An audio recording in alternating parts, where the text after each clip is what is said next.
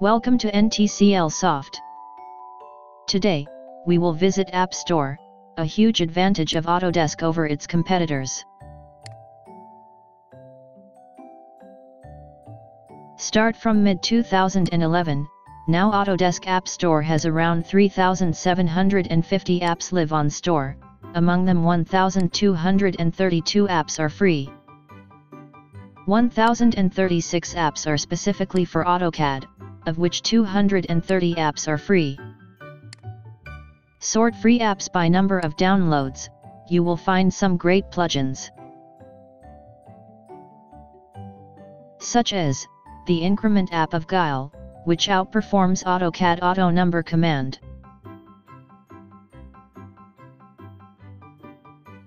ZW Soft, in contrast, do not have a true store.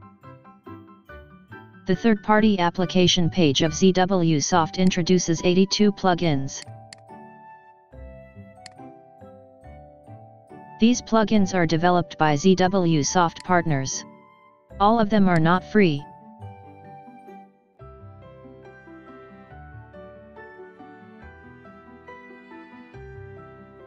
To buy a plugin, user need to contact directly with the third-party publisher.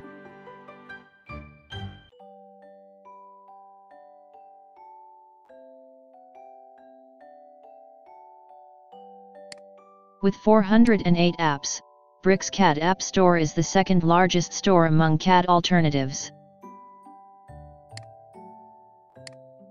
75 apps are free, mostly specifically for BricsCAD.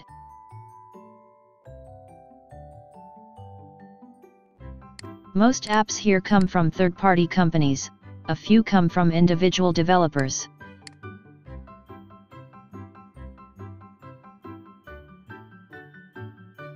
Again, you can find the Increment app here. It is still free.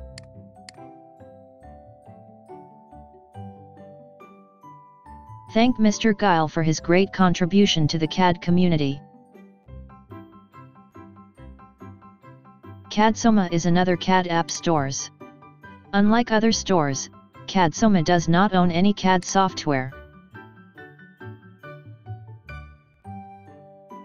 Instead, CADSOMA operates as a sales broker between developers and CAD consumers of any platforms.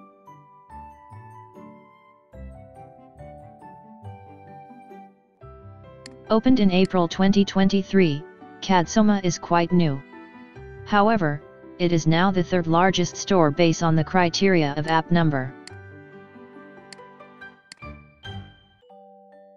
249 apps are available. Most of them are paid apps.